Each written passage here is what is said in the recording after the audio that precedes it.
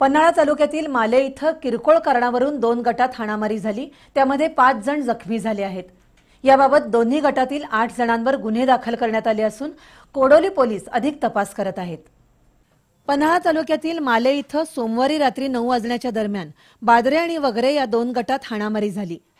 सोमवारी रात्री बादरे गटातील काही व्यक्ती शेकोटी करून रस्त्याकडेला बसल्या होत्या. त्यावेळी वगरे गटाच्या काही जणांचा त्यांच्याशी वाद झाला. वादाचं पर्यवसान हाणामारीत झालं. त्यामध्ये बादरे गटाचे दोन तर वगरे गटाचे तीन जण जखमी झाले आहेत.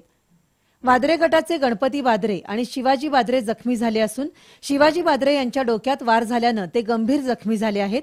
तर वगरे गटाचे तुकाराम वगैरे आणि विकास वगैरे आणि राहुल वगैरे असे तिघे जण जखमी आहेत. या प्रकरणी दोन्ही गटातील आठ जणांवर गुन्हे दाखल झाले आहेत. याबाबत कोडोली पोलीस अधिक तपास करत आहेत.